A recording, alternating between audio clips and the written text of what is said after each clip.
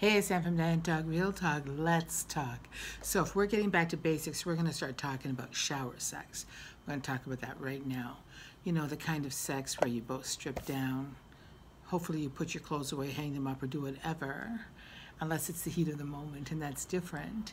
And then you get into a hot, steamy shower. Um, you take turns letting the hot water run down your back, and then you soap each other up, touching all of the spots that need to be washed very carefully my breasts, under my breasts, my vagina, my pussy, whatever you want to call it.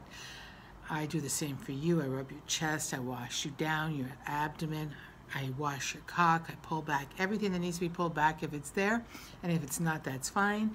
I wash your balls. Then, then, uh, see, I'm very, very specific here. Then we turn around. I wash your back, I take care of all of that. You wash my back we do each other's like so I take care of my own ass, you take care of your own ass, everything is clean. Really important to get back to basics because you never know where you'll go and besides which you should wash all of that every day, all the time, as much as you can.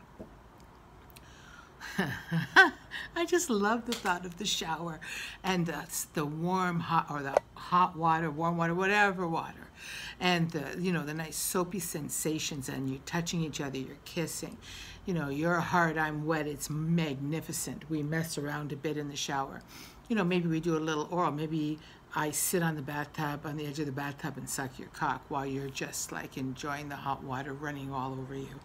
And you know what? I, I just find it a perfect prelude to great orgasmic fuck me now sex. Diane from Diane Talk, Real Talk, Real Talk. Get in the shower. People get it on. Do it today, and you're going to find out that clean, hmm, cleanliness is next to godliness. I love you.